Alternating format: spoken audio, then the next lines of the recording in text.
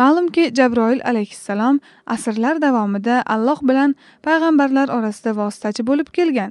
Mana shu haqida to'liqroq ma'lumot olmoqchi bo'ldik.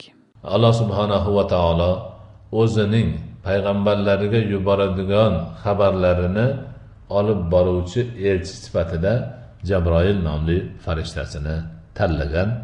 Jabroil alayhissalom barcha payg'ambarlarga vahiy keltirib turgan farishta hisoblanadilar. O'tgan ambiyolarni hammalariga jabroil alayhissalom allohning xabarlarini ta'limotlarini yetkazib turgan. Jumladan payg'ambarimiz sollallohu alayhi vasallamga ham qur'oni karim oyatlarini va boshqa xabarlarni yetkazib turganlar. Bu kishi ya'ni jibroil alayhissalom xabarlarni yetkazishda o'ta ishonchli bo'lganlar. Biror harfga yoki nuqtaga xiyonat qilmaganlar shuning uchun ham amin ya'ni ishonchli degan sifat bilan sifatlanganlar.